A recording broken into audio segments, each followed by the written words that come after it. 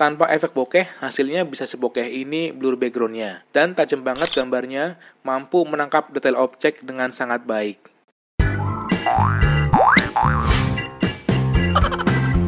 Hai, di video kali ini saya akan tes dan review kamera handphone Samsung Galaxy A50s dan nanti akan sedikit saya bandingkan dengan kamera handphone Samsung Galaxy A50. Mungkin ada teman-teman yang masih ragu mau beli Samsung A50 atau Samsung A50s ini. Karena dari spesifikasi keduanya nggak jauh beda, dan dari harganya cuma selisih 300 ribuan. Dari spesifikasi, bedanya ada di chipset A50 pakai Exynos 9610, kalau A50s pakai Exynos 9611. Terus beda di kamera, kalau kamera utama A50 25 megapiksel, kalau A50s kamera utamanya 48 megapiksel. Dan kamera depannya A50 25 megapiksel, A50s 32 megapiksel.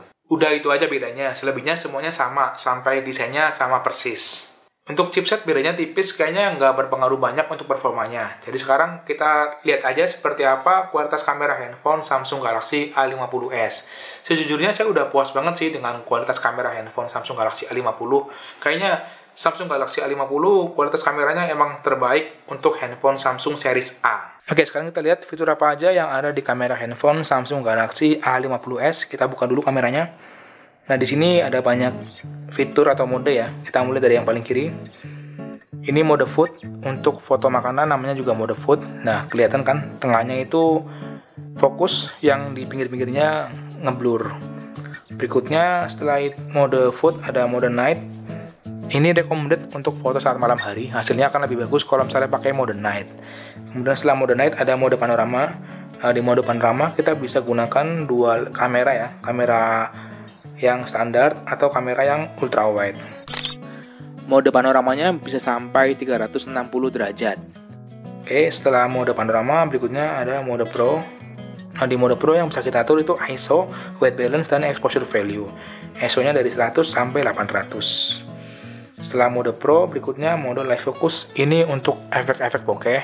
Dan efek bokehnya bisa diatur di sini dari 0 sampai maksimal 7. Oke, dan setelah di foto kita masih bisa ganti efek bokehnya. Misalnya seperti ini. Ini kan ada pilihan change background effect. Dipilih aja. Nanti teman-teman bisa pilih mau efek yang mana. Oke, setelah mode live focus, berikutnya ada mode foto. Nah, di mode foto kita bisa pilih pakai kamera yang biasa atau pakai kamera yang ultra wide. Kemudian di atas ini ada Bixby Fiction. Kemudian ada settingan. Nah, di settingan kita bisa pilih SDR-nya bisa kita nyalakan, matikan. Dan ada watermark di sini, settingan untuk watermark. Oke, setelah setting berikutnya ada flash, timer. Ini untuk ukuran foto. Ya, foto ratio. Kemudian di ujung ini ada filter. Filter-filter. Nah, di atasnya ini ada AR emoji. Ini ya. Kemudian yang di bawah ini kita bisa aktifkan scene optimizer-nya. Oke setelah mode foto ada mode video. Coba kita cek ukuran videonya. Untuk kamera belakang ukuran videonya ada Full HD full dan satu banding satu. Kamera depan juga sama aja resolusinya ada Full HD full dan satu banding satu. Kemudian di sini kita bisa aktifkan video stabilization. Tapi kalau misalnya kamera depan, video stabilisasinya nggak bisa kita nyalakan. Oke, kemudian di mode video kita juga bisa pilih mau pakai kamera yang standar atau kamera ultra wide. Oke, setelah mode video berikutnya ada super slow motion, slow motion dan hyperlapse.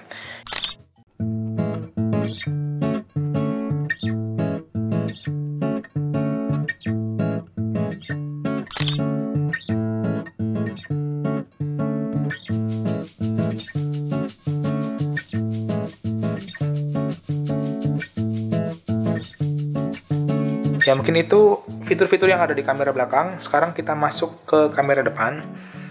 Nah di kamera depan fiturnya tinggal ada tiga ya tiga mode. Ada live focus foto dan video. Dan di sini kita bisa pilih mau pakai kamera yang biasa atau mau pakai wide selfie seperti ini. Ya setelah itu mode foto. Sama aja ada pengaturan untuk wide selfie juga. Dan mode video. Nah video kamera depan stabilisernya nggak bisa kita nyalakan seperti yang saya sudah saya jelaskan tadi ini tidak aktif ya kurang lebih seperti itu fitur-fitur yang ada di kamera handphone Samsung Galaxy A50s Sekarang langsung aja kita tes kameranya untuk foto dan video. Hasil foto kamera belakang tajam banget, kontras dan warnanya juga kerasa banget.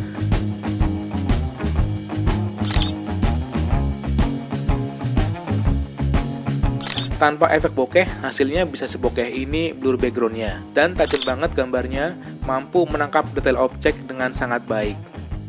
Yang ini pakai efek bokeh, warnanya emang nggak secetar kamera utama, tapi ini masih bagus banget. Dan salut untuk separasi blurnya yang bisa serapi ini.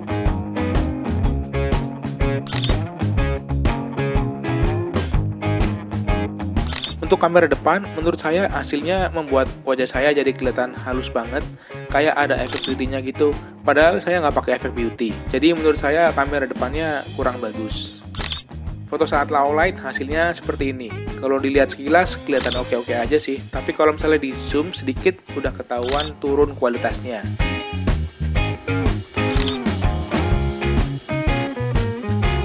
Oke, sekarang lagi tes kamera belakang Samsung A50s untuk rekaman video saat sore hari hasilnya seperti ini. Ini stabilisernya udah saya nyalakan, jadi harusnya sih nggak goncang-goncang ya. Udah stabil ya harusnya kalau dibawa gerak ini. Ya seperti ini kalau dibawa gerak, kalau stabilisernya nyala. Dan untuk warna kontras ketajaman oke okay, nih. Dynamic range-nya juga bagus. Kontrasnya nggak terlalu nyolok mata gitu. Warnanya juga pas. Jelas juga kalau misalnya dilihat gini, ya kurang lebih seperti itu hasil tes perekaman video saat sore hari. Nah ini langitnya udah senja-senja.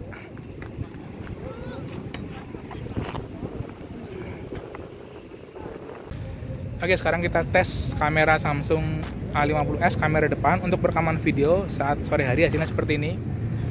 Dan untuk kamera depan stabilisernya nggak bisa dinyalakan ya. Jadi kalau misalnya dibawa gerak ini ya wajar kalau misalnya masih goncang-goncang. Tapi ini untuk ngevideo lebih bagus kamera depan daripada kamera belakang. Ini jelas banget kelihatan bagus banget. Oke. Okay. ya seperti ini dynamic range juga oke okay banget. Ini karena sore hari jadi agak kekuningan ya. Tapi saya suka banget hasil kameranya. Ini kalau misalnya tangan kita tangan saya full gitu segini. Ya lumayan luas sih ini di resolusi Full HD oke. Okay. bagus banget. Untuk warna kontras ketajaman nggak kalah bagus dibandingkan kamera belakang. Malah kamera depannya lebih bagus menurut saya. Oke sekarang kita tes kamera belakang Samsung A50s. Untuk perekaman video saat malam hari hasilnya seperti ini. Ini udah bernoise banget. Ya beginilah hasilnya. Dan ini stabilisasinya masih nyala ya coba kita bawa jalan. Kerasa jedut-jedut banget sih. Frame rate nya ya beginilah. Kalau untuk rekam cahaya kalau untuk rekam saat malam hari hasilnya seperti ini. Kalau misalnya dibuat stay sih kayaknya masih oke okay ya kayak gini. Lumayan. Dia kekurangannya kadang fokusnya sering lari-lari jadi out fokus terus. Oke ini perekaman video saat malam hari menggunakan kamera depan. Dan ini juga di resolusi full HD juga hasilnya seperti ini. Ya sama aja kayak kamera belakang hasilnya. Udah bernoise juga. Ya seperti ini dah kurang lebih hasil perekaman video kamera depan Samsung A50 saat malam hari wajah masih kelihatan sih cuman udah noise-nya tuh udah ganggu banget Ya, kurang lebih seperti itu hasil tes kamera handphone Samsung Galaxy A50s. Overall, ini kualitas kameranya bagus banget untuk foto dan video. Tapi ada kekurangannya, dan kekurangannya masih sama dengan kekurangan kamera handphone Samsung Galaxy A50. Yaitu untuk video saat malam hari atau dalam keadaan low light, hasilnya masih kurang bagus. Dan jika kualitas kameranya dibandingkan dengan A50, sebenarnya sama aja sih, walaupun secara angka resolusi A50s lebih besar, tapi sulit banget mencari perbedaan antara hasil kamera dari keduanya. Kalau ada perbedaan pun kayaknya tipis banget sih. Nah, buat teman-teman yang ingin beli Samsung Galaxy A50 atau A50s, kalian bisa mampir ke Prima Body. Alamatnya ada di Jalan Kejayaan nomor 12 Yogyakarta. Nanti link alamatnya saya taruh di deskripsi. Oke, mungkin itu info yang bisa saya share kali ini tentang kualitas kamera handphone Samsung Galaxy A50s.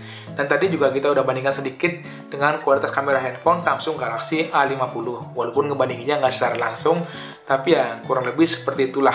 Kalau kalian suka video ini, silahkan like, comment, share, dan subscribe buat yang belum subscribe. Dan jangan lupa aktifkan tombol notifikasi supaya teman-teman tahu kalau misalnya saya upload video baru. Terima kasih yang udah nonton video ini. Sampai jumpa di video saya yang berikutnya. Bye-bye.